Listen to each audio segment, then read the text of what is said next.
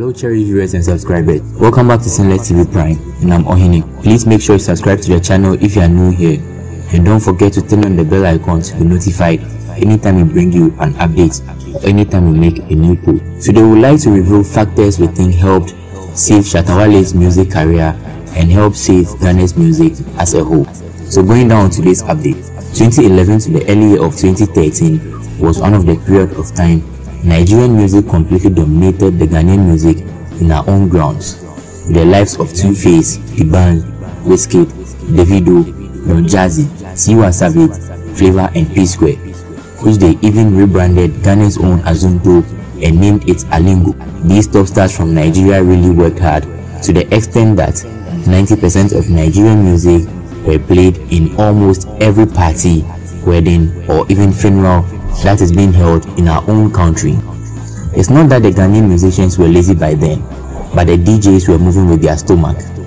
If we say they were moving with their stomach, we mean if you don't pay them to play your music, they won't and they prefer to play the foreigners' music than that of their own country. Fast to middle 2013, this was the year Ghanaian musicians were looking for the Christ that will carry the music industry at its back and make Ghana music better again. This was the year music lovers from Ghana wanted more from their favorite musicians in the country. This was the year everyone was talking about how Nigerian music was dominating the Ghanaian music in our own ground. And this was the year Ghana DJs and musicians were blaming each other. This one will say, you don't play my music and the others will say, you don't produce songs that will fit style of DJing.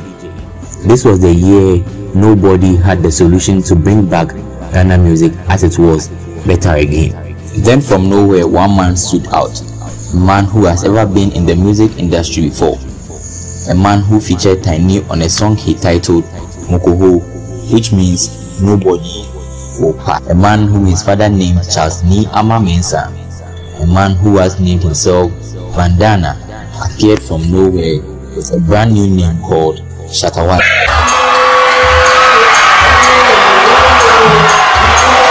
which he brought complete revolution to the music industry. Firstly, Shatta Wale was able to penetrate to the Ghana music unexpectedly from nowhere.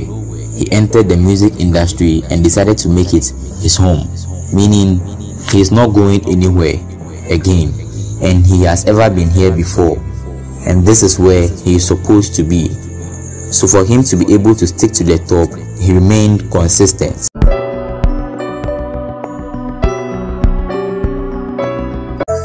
Bandana is coming back as Shatta Wale was almost like a prepared warrior. He was able to prove his consistency by dropping hits upon hits. As hungry as Ghanaians were at that time, they welcomed every song he dropped and they loved almost every song he dropped, which really helped him to gain grounds faster through his consistency. Within a blink of an eye, he has already taken over the whole country and he mostly got his love from the streets and the ghetto. Wale was able to release over 100 songs per year. Bandana was able to penetrate to the music scene with a dancehall song called Dancehall King.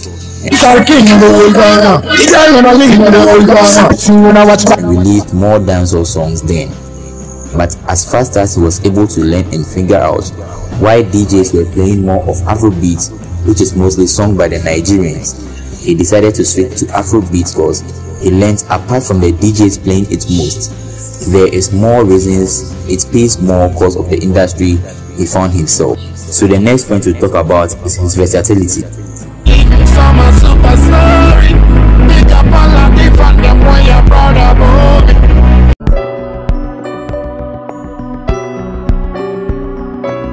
After the storm, which he named it such because of the struggle and misunderstanding he had with most of the top industry players, which we will be looking at on a different post. So please make sure you subscribe to the channel and never miss it.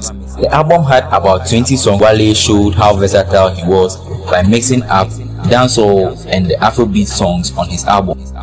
And the following tracks from the album were able to make a bigger impact in the country. These songs are Mahama Paper, Baby Chop Kiss, Kakai, Vieja, If I Collect, I'm Okay, Reality, Champion, Dancehall King, Hold It, Like a King, which was a hit in Jamaica, Kill Them With Prayers and Too Much Chemical was among the songs from the album that were able to make hits in the country. Another way Wale was able to keep Ghana music alive is his way of creating beefs just to bring people's mind on him and also the industry. So another way that made his career succeed in the industry was through controversy. Wait, wait, wait, wait, train. Kind like the video. Subscribe to the channel. Leave your comment under the comment section. Let's continue.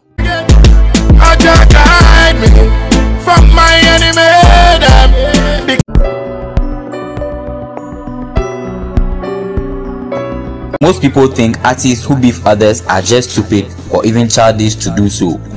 If you are one of them, I think this point will make you understand why beef is also important.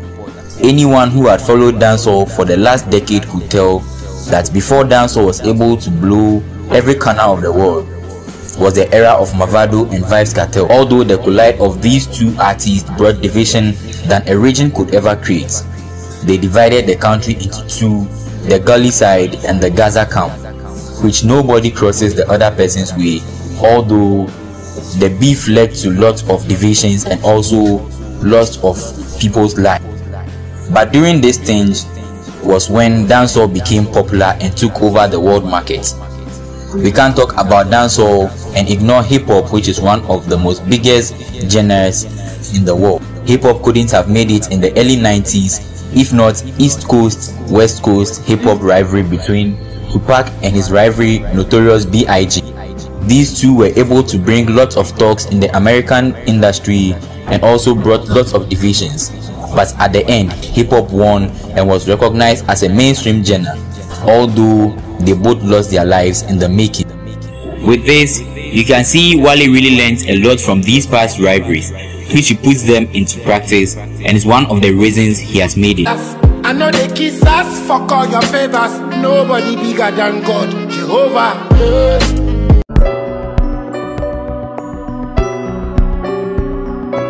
He turned the music industry into a professional music industry. If you know someone who made it in the music industry in the early 2000s and the person is not rich, then this was the reason why he was famous but broke. In the early age of music in Ghana, musicians weren't paid well. Apart from them gaining fame, they get nothing out of it and they retire the music the same as they started broke. This was because the top industry players use the artist's fame and hit song for the success of their shows or events.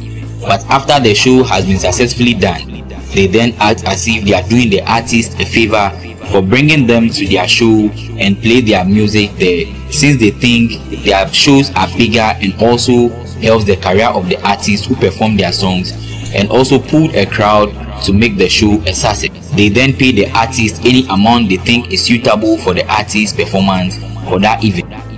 With this, even if the money isn't enough, the artist won't be able to complain since the system had made them believe they are being helped and if not because of such shows, they wouldn't have earned anything at all.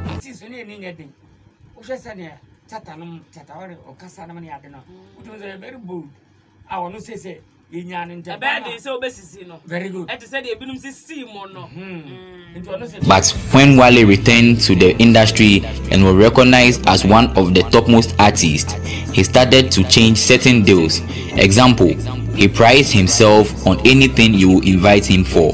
That involves his talents.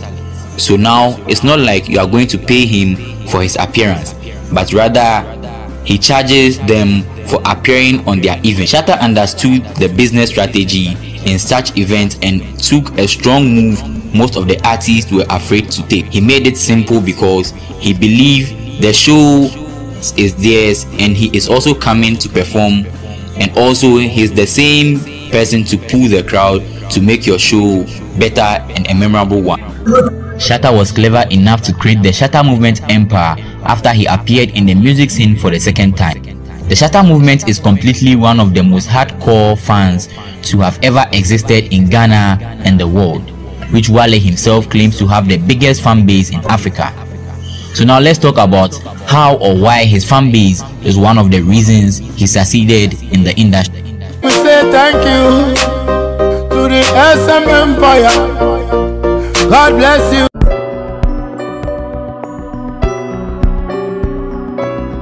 After the 2015 Ghana Music Awards, which Shatta Wale was crowned Artist of the Year that night, Shatta Wale had lots of issues with the Charterhouse, most of the DJs in the industry and also including the former owner of GH1, which he was still the owner then. This was where Shatta Wale's career almost died, if not for his strong fan base.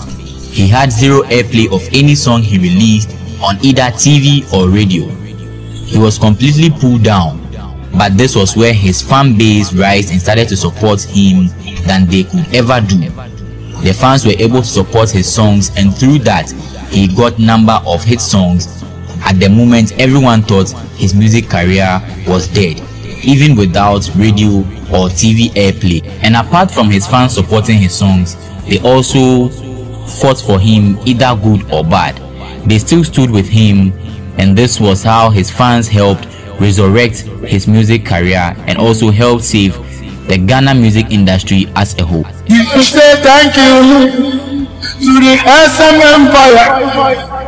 God bless you. Afrobeat is the way. So Beyonce, the smart one, okay, let's let's see Actually, what we I think she just used that, sir. and but she didn't even choose well. And you know what? She didn't make videos with any of those artists. like, what? Because How she didn't you? meet them. You see, that's how I think. I think as, as How do you? as gen- Man, come we should position ourselves in a better light, in a better place, so that even beyond. Because really, she didn't want to have a, a, video with them. She didn't want to. If she wanted to, it would have happened. I mean, it would have happened. I mean, just check what an already video with Shatta Wale in it would have done for Shatta Wale's career worldwide. and even what that video would have done for Beyonce herself, it would have done a lot. So I, I think I think... It would have done a lot.